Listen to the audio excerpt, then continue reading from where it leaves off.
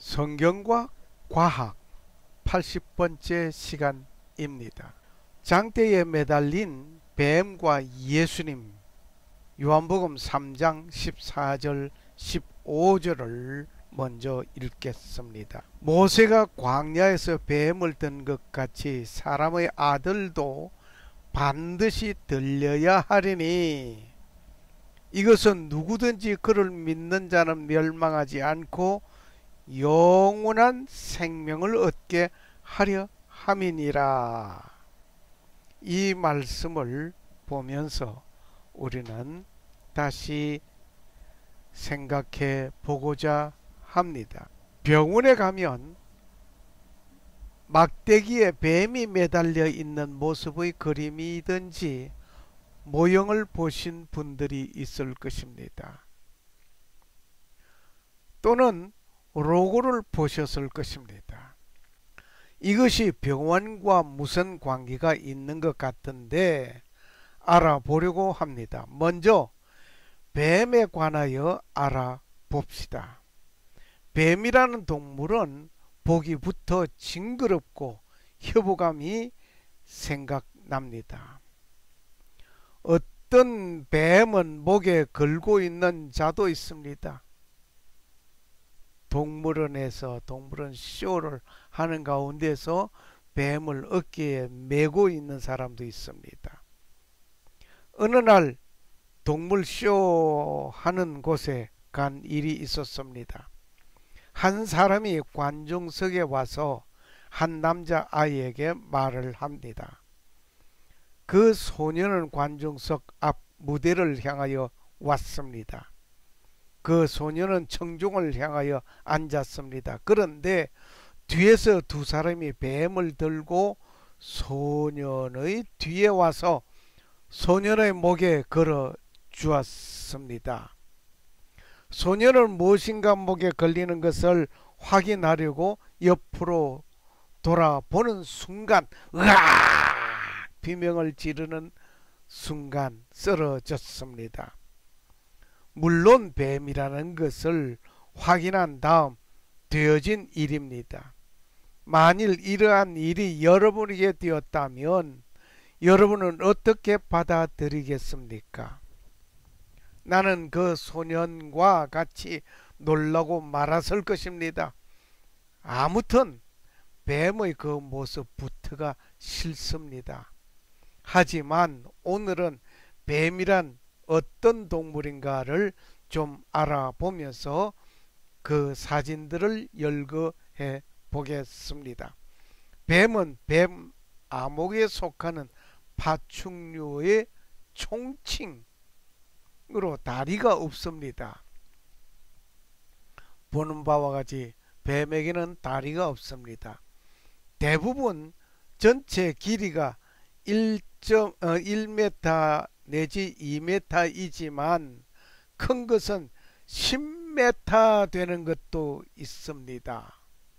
그리고 작은 것은 10cm인 것도 있습니다.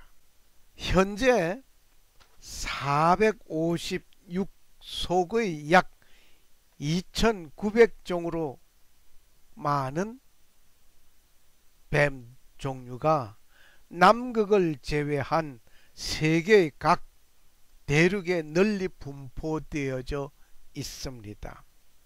일부는 북극권 부근까지 서식하고 있습니다. 한반도에서는 16종이 서식하고 있습니다.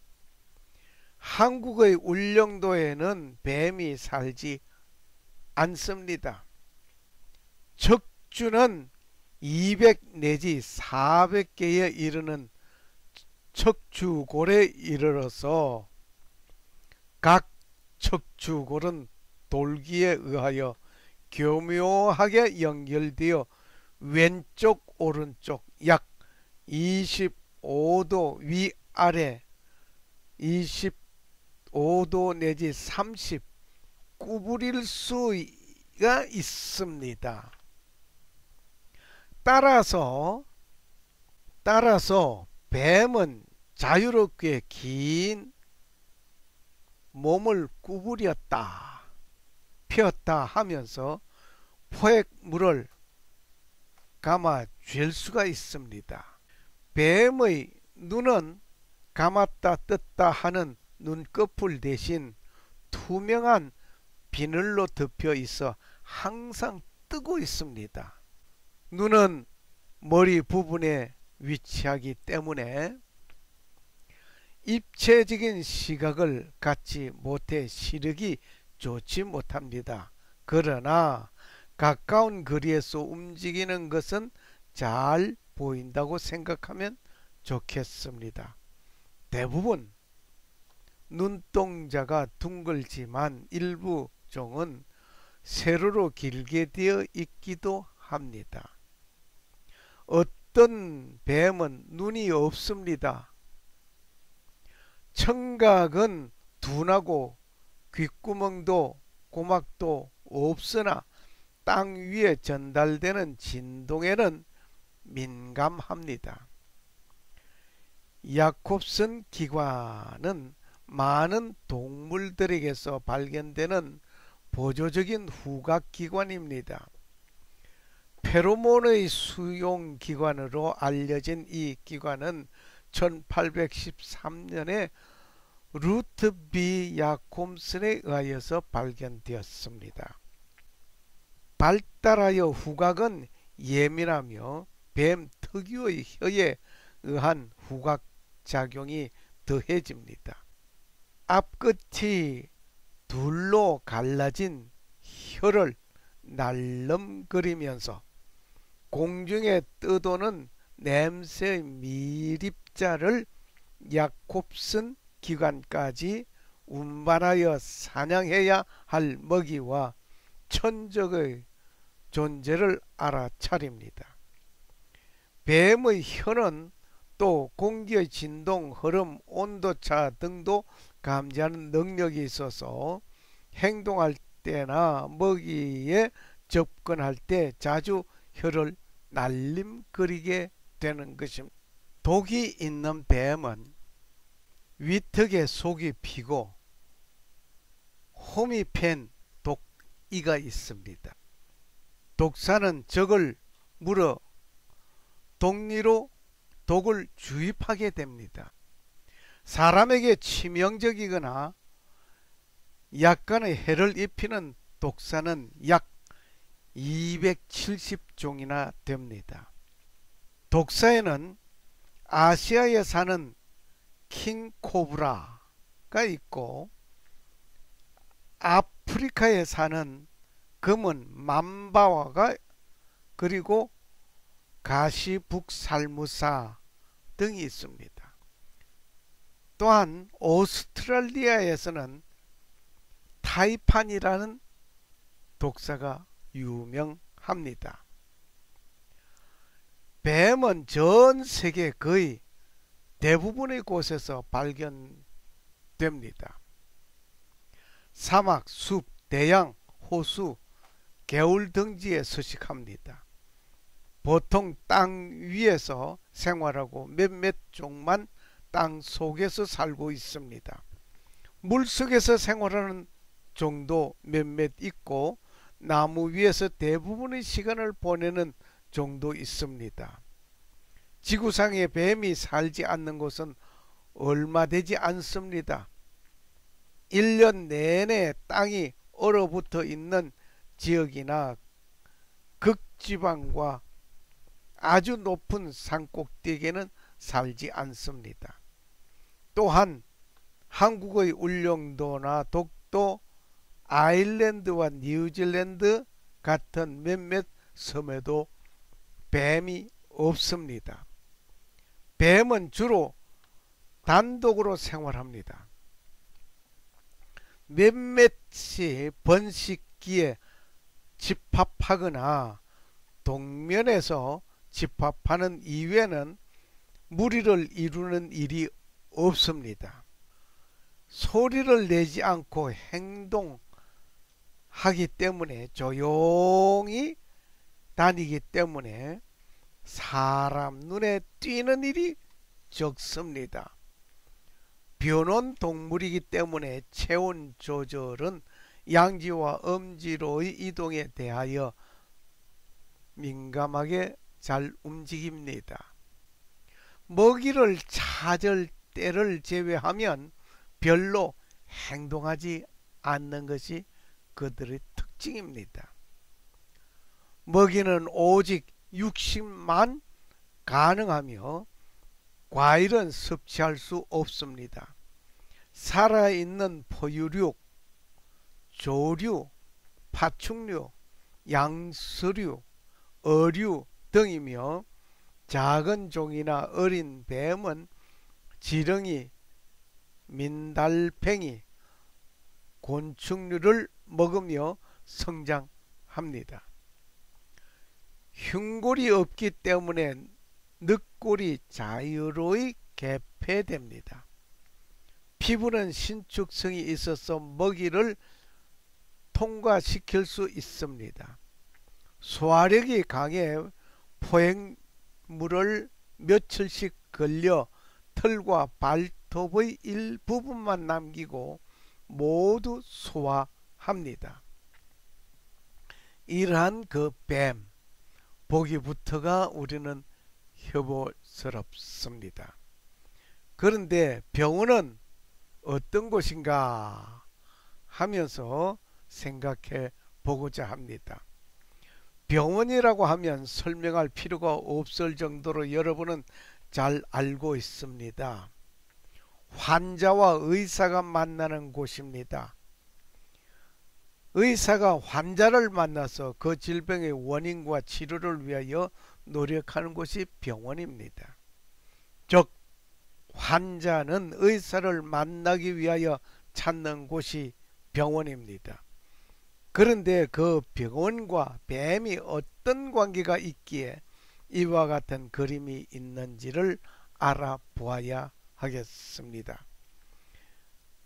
뱀은 어떠한 존재이었나를 분석해 봅니다. 이름은 영어에서 스낵라고 하는데 꿈틀거리는 동물을 의미하고 있는 라틴어 세르펜스에서 발생한 말입니다. 아브라함의 종교에서 성적 욕망을 나타내는 것으로 알려져 있습니다. 에덴 동산에서 하와에게 성적 열정을 표현하기도 하였다는 신화적인 말이 있습니다. 그리고 힌두교에서는 순수한 욕망의 군탈리니를 상징하고 있다고 합니다.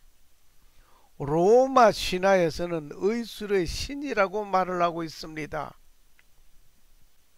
그 신이 아스크레피오스의 뱀을 사용한 의학적 치료는 현대에서 의학의 상징이 된 것이라고 봅니다. 결국 로마 신화에서 내려진 것이라는 것을 볼 수 있습니다.